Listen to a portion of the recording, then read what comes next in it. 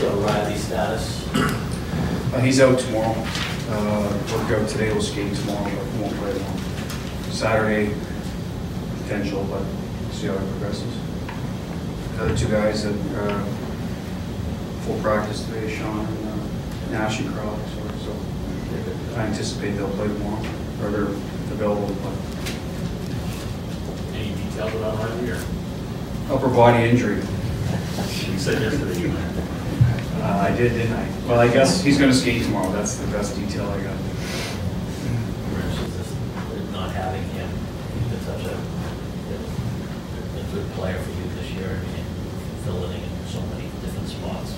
Uh, it hurts. I mean, he's a guy that, as you said, filled in a lot of different spots, but the spot we need him in right now, or where he would have been, was third line center. You know, Birdie's healthy, Kretsch, uh, if Kuraly goes back into the fourth, we have our center slotted in how we, you know, how we saw them when we were completely healthy. There's a guy in the penalty kill, did a good job for us, a face-off guy.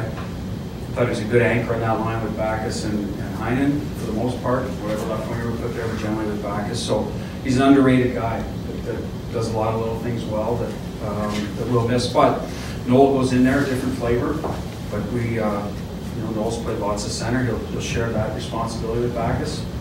As the game goes along, we, you know, Backes might take the draws or play a little more against if there's certain matchups. So it's, uh, you know, we're comfortable with the guy replacing Riley, but we do him.